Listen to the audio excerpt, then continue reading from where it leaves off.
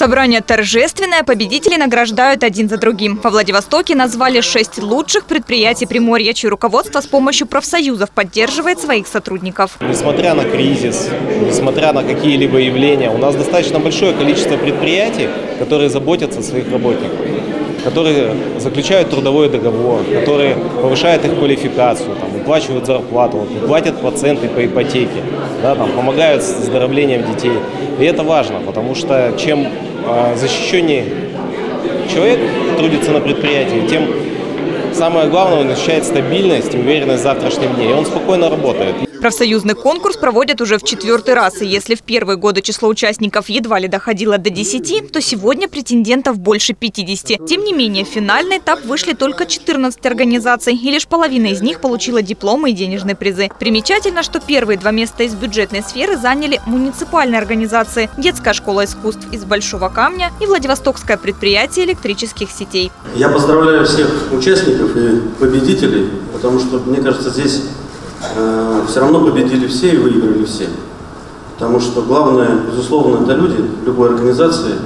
Это секрет успеха многих успешных людей, которые говорят, что если меня заберут все, но останутся, останется мой коллектив, то я через несколько лет добьюсь того же или больше. Побеждать в конкурсе профсоюзов могут компании большие и маленькие. Оценивают прежде всего не количество персонала, а то, насколько эффективно люди работают. Высокие баллы у тех предприятий, где нет случаев производственного травматизма. И, конечно, вовремя выплачивается зарплата. К слову, именно задержка оплаты труда для рабочих радиоприбора стала поводом для неоднократных митингов. Совпадение это или следствие, но на заводе нет профсоюзной организации. Мы работали субботы, праздники, выходные.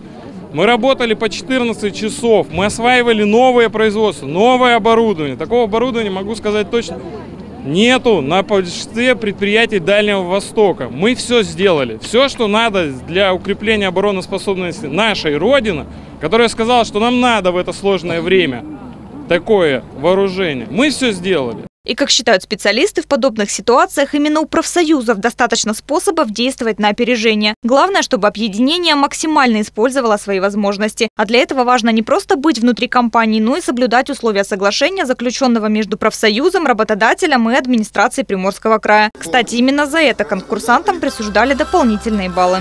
Я уверен, что социальное партнерство оно будет продолжаться, будет процветать. Во многом это зависит и от власти, и от профсоюзов, от работодателей.